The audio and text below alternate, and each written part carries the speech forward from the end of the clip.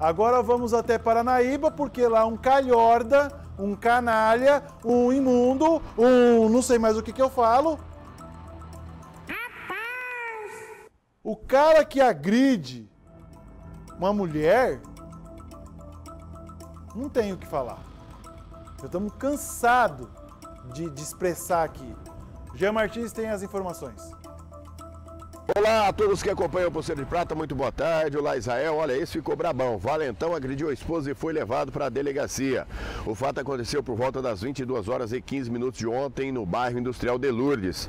Segundo consta, a equipe de força tática da Polícia Militar foi acionada a atender uma ocorrência de violência doméstica, onde o indivíduo estaria agredindo a sua esposa. Ao chegar ao local, os agentes depararam com o autor, o homem de 32 anos, no portão de sua residência. Perguntado o que teria acontecido, o mesmo informou que discutiu com a sua esposa e que, segundo ele, não esconderia da polícia que durante a discussão deu alguns tapas na sua companheira, a mulher de 25 anos. Em conversa com a vítima, os policiais notaram que suas vestes estavam desalinhadas e que apresentava lesão na face e na boca, proveniente, segundo ela, da agressão sofrida pelo companheiro.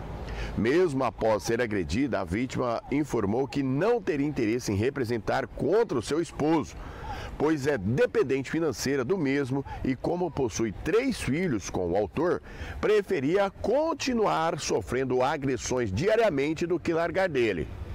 Diante dos fatos, a mulher de 25 anos foi encaminhada juntamente com um dos seus filhos até a delegacia para o registro da ocorrência. Ao ser informado que seria conduzido até a delegacia de Polícia Civil pela agressão à sua esposa, o homem de 32 anos ficou brabão, ficou valentão, ficou todo exaltado dizendo: Você vai fazer isso comigo? Você vai fazer eles me prenderem? Em tom ameaçador. O autor ofereceu uma certa resistência ao ser colocado no compartimento de segurança e começou a se debater, efetuando chutes dentro da viatura. Mas não teve jeito. Com a técnica e com o jeitinho policial, ele foi conduzido, ele foi encaminhado sim para a delegacia.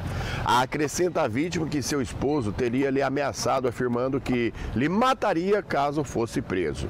Ó, se chamar a polícia, se eu for preso, eu te mato. Essas foram as ameaças feitas pelo autor à vítima.